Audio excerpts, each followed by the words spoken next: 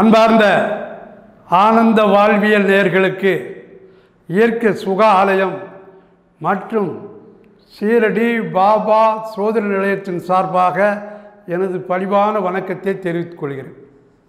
நாம் இந்த சோதனை தொடரில் செவ்வாய் தோஷமும் பரிகாரமும் அப்படிங்கிற தலைப்பில் ஒரு சீரியல் மாதிரி போட்டுக்கிட்டு வரோம். செவ்வாய் தோஷம்னா என்ன? அதுக்கு விதிவிலக்கு என்ன? அது இருந்தால் தோஷம் இல்லையா அப்படிங்கிறத பற்றி பேசிக்கிட்டு வரோம். அதில் நிறைய பதிவு போட்டோம். இன்றைக்கு நம்ம பார்க்கக்கூடிய பதிவு என்னென்னா குரு செவ்வாயோடு சேர்ந்திருந்தார். அல்லது குரு செவ்வாயை பார்த்தார். செவ்வாய் தோஷத்துக்கு இது விதிவிலக்கு. இப்போ இந்த சாற்றை பாருங்களேன். இப்போ இந்த சாற்றை பார்த்தீங்கன்னா இப்போ இதை எடுத்துக்கோங்க. குருவும் செவ்வாயும் சேர்ந்தால் அதற்கு பேர் குருவும் மங்கள யோகம்னு பேர். இந்த மங்கள அப்படிங்கிற ஒரு வார்த்தை ஒம்பது கிரகங்களிலே செவ்வாய்க்கு மட்டும்தான் அந்த வார்த்தை. சூரியன் சந்திரன் செவ்வாய் புதன் வியாழன் சுக்கிரன் சனி ராகு கேது ஒம்பது கிரகங்களில் மங்களம் அப்படிங்கிற ஒரு வார்த்தை செவ்வாய் பகவானுக்கு மட்டுமே உண்டு. அது காரணம் செவ்வாயோட வரலாறுல ஒன்று உண்டு. செவ்வாய் எப்படி பிறந்தார் அப்படிங்கிற ஒரு கதை இருக்கு. அந்த கதையில் இவர் பரத்வாஜர் முனிவருக்கு குழந்தையா பிறந்து பிறகு இவர் விநாயகரை வணங்கி தவம் இருந்து விநாயகர் இவருக்கு ஒரு வரம் கொடுக்குறாரு. அப்போ தான் இவர் சொல்கிறாரு நான் நவக்கிரக வரிசையில் நான் வந்து சேரணும் அப்படின்னு கேட்டு அவர் தவத்துக்கு அந்த கோரிக்கையை விநாயகர் பெருமான் செய்து கொடுத்தாரு. அந்த கிழமை செவ்வாய்க்கிழமை. அன்றைக்கு சதுர்த்தி திசி திதி. ஸோ செவ்வாய்க்கிழமை சதுர்த்தி திதியில் தான் விநாயகர் பெருமான் செவ்வாய்க்கு வரம் கொடுத்தாரு. அன்றைக்கு அவர் கொடுக்கின்ற பொழுது அவருக்கு மங்களகாரகன் அப்படிங்கிற ஒரு திருநாமம். செவ்வாய் குஜன் அங்ககாரன் பூமிக்காரகன் இப்படி நிறைய பேர் உண்டு. அதில் மங்களகாரங்கிற பேர் விநாயகர் கொடுத்த அன்னைக்கு பேர் தான் அதுக்கு மங்களகாரம். இந்த செவ்வாயானது குரு மங்கள யோகம் அப்படின்னு ஒன்று உண்டு. இப்போ இந்த குரு மங்கள அப்படிங்கும்போது ஒரு சேத்திரம் இருக்குங்க. அதை இப்போ நான் சொல்லணும். அதாவது கழுகுமலை அப்படின்னு ஒரு ஊர் இருக்கு. கழுகுமலை அப்படின்னு ஒரு சேத்திரம். இந்த சேத்திரம் வந்து சங்கரம் கோயில் பக்கத்தில் இருக்குது கோயில்பட்டிக்கு பக்கத்துலேயும் இருக்குது இதுக்கு பஸ் வசதி நிறையா இருக்குது கோயில்பட்டி வழியாக நாலாட்டின் புதூர் வழியாக அங்கே போகலாம். சங்கரன் கோயிலிருந்து போகலாம் ராஜபாளையத்திலிருந்து போகலாம் சிவகாசியிலிருந்து போகலாம் அந்த பக்கம் புளியங்குடியிலிருந்து வரலாம். இப்படி பல இதிலிருந்து இந்த கழுகுமலைக்கு வரலாம். கழுகுமலை என்பது முருகனுடைய சேத்திரம். ஆனால் அங்கு பிரதான கடவுள் யாருன்னு கேட்டிங்கன்னா சிவனும் ஈஸ்வரன் தான். அங்கே முருகப்பெருமான் இருக்கார். இந்த முருகப்பெருமான் மயில் மேலே தான் இருக்கார். ஆனால் அந்த ஊருக்கு பேர் கழுகுமலைன்னு பேர். காரணம் ஜடாயுனோட தம்பி என்று சொல்லக்கூடிய அந்த கழுகு வம்சத்தை சேர்ந்தவருக்கு இவர் முக்தி கொடுத்தார் முருகப்பெருமான்.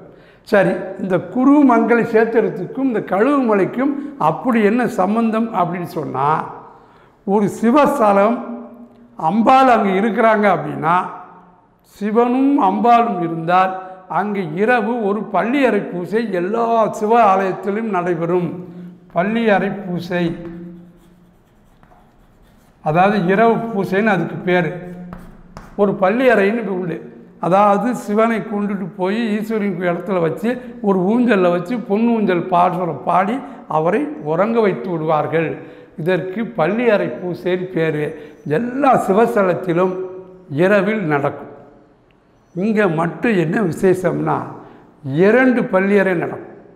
இரண்டு பள்ளியறை நடப்பது ரொம்ப அபூர்வம்.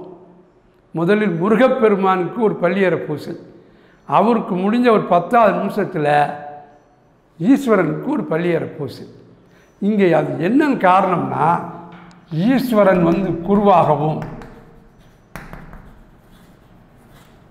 முருகப்பெருமான்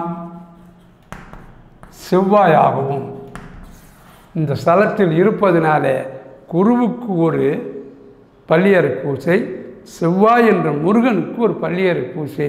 ஸோ இரண்டு பள்ளியறை பூசை நடக்கும் ஒரு கோயில் கழுகுமலை.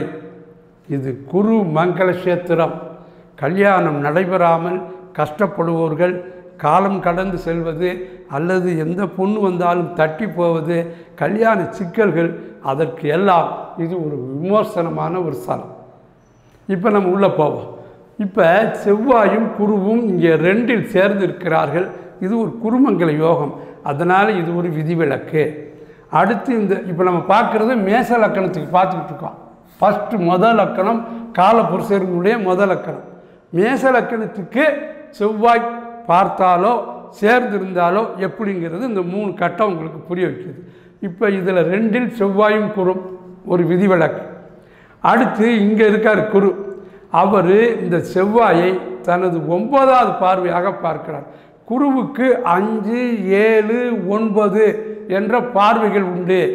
அதிலும் குரு பகவானுக்கு தான் நின்ற இடத்தை விட தன் பார்வையினுடையதில் வீரியம் வலிமை கூட. குரு பார்க்கின் கோடி நன்மை. ஸோ குரு உட்கார்ந்து இருப்பதை விட தன் கதிர்வீச்சு என்று சொல்லக்கூடிய பார்வை இருக்கிறதே அந்த பார்வைக்கு மிகப்பெரிய பலன் உண்டு. அதில் ஒன்பதாம் பார்வையாக செவ்வாய் பார்க்கார். இங்கே. இங்கே குரு இருந்தார்னா அவர் ஏழாம் பார்வையாக செவ்வாய் பார்க்கார். இந்த மகரத்தில் குரு இருந்தால் அவர் ஐந்தாம் பார்வையாக செவ்வாயை பார்க்காரு. அப்போ செவ்வாயும் குருவும் ரெண்டில் இருப்பதோ அல்லது குரு இங்கே மூணு இடத்தில் இருந்தால் குரு செவ்வாய் தோஷம் என்பதற்கு இது ஒரு விதிவிலக்கு. இப்போ ரெண்டாவது இதே மேசலக்கணம் தான் மேசலக்கணத்தில் எப்படி இருக்குன்னு இந்த அமைப்பை பாருங்கள் இதில் லக்கணத்துக்கு ஏழில் செவ்வாயும் குரும் இங்கே லக்கணத்தில் இருந்தார் இங்கே லக்கணத்தில் ஏழில் செவ்வாயும் குரும் குரு மங்கள யோகம். அடுத்து குருவை பாருங்கள் லக்கணத்தில் ஒன்று இருக்கார் இங்கே மூணில் இருக்கார் இங்கே பன்னெண்டு பதினொன்று இருக்கார். இப்போ அவருடைய பார்வை பார்த்தீங்கன்னா லக்கணத்தில் குரு தன் ஏழாம் பார்வையாக செவ்வாயை பார்க்கிறார். இங்கே இருக்கும் குரு தன் ஐந்தாம் பார்வையாக செவ்வாயை பார்க்கிறார். இங்கே இருக்கிற குரு அதாவது கும்பத்திலிருந்து ஒன்பதாம் பார்வையாக பார்க்கிறார். ஸோ குரு மங்களம் குருவினுடைய மூணு பார்வைகளும் இந்த மேச லக்கணத்தில் செவ்வாய்க்கு விதிவிலக்காக குடிக்கிறது செவ்வாய் தோஷம் இதில் கிடையாது. இப்போ இந்த மூணில் பாருங்கள் இதுவும் மேசலக்கணம் தான். இங்கே பன்னெண்டில் செவ்வாயும் குருவும் சேர்ந்து இருக்கு குருமங்கல யோகம் எனவே செவ்வாய் தோஷத்துக்கு விதிவிலக்கு. அடுத்து குரு எங்கெல்லாம் இருக்கார் பாருங்கள் ஒன்று ரெண்டு மூணு. அப்போ ஒன்று ரெண்டு மூணு நாளில் கடகத்தில் குரு இருந்து கொண்டு ஒன்பதாம் பார்வையாக செவ்வாயை பார்க்கிறார். கண்ணில் இருந்து கொண்டு ஏழாம் பார்வையாக பார்க்கிறார்.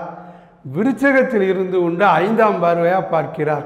அப்போ மூணு பார்வையினுடைய குரு அல்லது குரு சேர்ந்த இந்த இடம் இந்த செவ்வாய் தோஷத்துக்கு இது விதிவிலக்கு.